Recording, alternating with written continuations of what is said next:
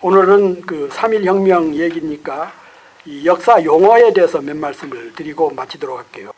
을사보호조약이라는 말은 요즘은 이제 거의 안 씁니다만은 그 최근까지도 그리고 저번에 그 총리 후보가 됐던 사람 이런 사람들도 당당하게 을사보호조약 운운하고 2조 운운하더라고요. 지금도 흔히 그 2조라는 표현을 씁니다만은 우리나라 역사에 2조라는 2조라는 국가는 없었어요. 조선 왕조인데 2조. 그러니까 일본 사람들이 폄하하기 위해서 조선은 부족 국가도 못 되고 시족 국가다. 이족 사회다. 그래서 2조라는 표현을 쓴 거거든요. 그런데 그런 것도 모르고 우리 역사학자들 이병도를 비롯한 관학자들 이런 사람들은 2조, 2조. 최근에 그 낙마됐지만 국무총리에 지명됐던 사람이 텔레비에 나와서 2조 그러더라고요. 그리고 지금도 그 의병 토벌 며칠 전에 그 신문에 보도됐죠. 2016년부터 전국의 초등학교 6학년 학생들이 배울 예정인 국정 초등 교과서를 시범을 내, 그 내놨는데 보니까 이또 을사조약을 성공했다. 이또가 을사조약을 성공했다. 그 신문에 다 보도가 됐습니다. 이또 히로부미가 을사조약을 성공했다는 겁니다. 그게 우리 초등학생들 6학년들한테 가르칠 교과서 표기입니다. 그리고 또 하나는 일본군이 의병을 소탕했다. 그러니까 신채호 선생이 역사란 아와 비아의 투쟁이다 그랬잖아요. 아는 우리 조선, 대한, 한국, 비아는 그때는 일본 제국주의.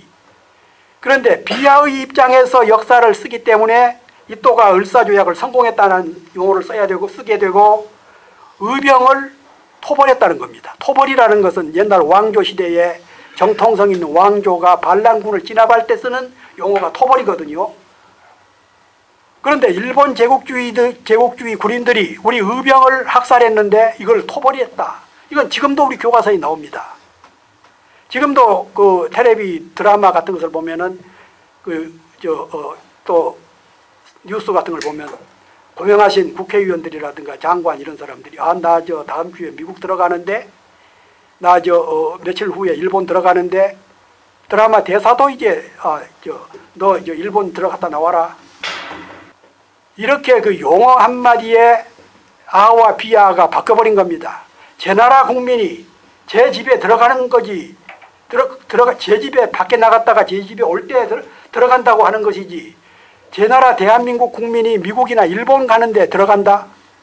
이건 아와 비아를 역전시켜버리는 것인 거거든요. 그 요즘 저 파키스탄에서 얼마 전에 그 120 학생들, 중학생들 테러하고 그랬는데 이승만은 그때 그 안중근 의사, 윤봉길 의사 이런 그 의열 투쟁 이런 것을 백인 사회에 조선 쪽 조선 민족이 그런 그 테러리스트로 오해받을 소지가 많다. 그런 식으로 얘기를 했어요. 그러니까 안중근 의사나 이봉장, 윤봉길 의사 이런 분들의 의열 투쟁을 테러라고 생각을 한 겁니다. 지금 우리가 그 테러와 의열이 다른 것은 테러는 바로 우리가 요즘 지켜보듯이 무작위적으로 폭탄을 또는 비행기를 납치해서 죽여버리지만 우리 의열투쟁 안중근 의사나 이런 분들은 국권을 빼앗아간 외적을 향해서 꼭 필요한 사람만 죽인 거죠. 죽이거나 부상을 시키거나. 그리고 이 안중근 의사만 하더라도 그 저 일곱 발, 칠연발 권총을 가지고 이또한테 세 발, 그 따라다니던 놈, 어떤 놈이 이또인지 모르니까 쏘고 한 발은 남겨놨어요. 왜 안 쐈느냐 그러니까 나는 죄 없는 사람은 안 죽인다. 그게 의열투쟁하고 테러하고 다른 거거든요. 그런데 지금도 그 어떤 저 고명하신 그 역사학자가 쓴 책에 보니까 안중근 의사 이또 히로부미를 암살이라고 나왔더라고요. 그건 암살이 아니죠. 김재규가 박정희를 어두컴컴한 그 술집에서 죽인 것은 그건 암살이지만 이또 히로부미를 한 2천 명 청중 앞에서 대중 앞에서 공개적으로 죽인 것은 이건 처단하는 겁니다. 우리가 아와 비아의 대칭해서 보았을 때 역사는 아와 비아라고 그랬는데 아의 입장에서 역사를 써야지 왜 비아의 입장에서 역사를 쓰느냐는 얘기입니다.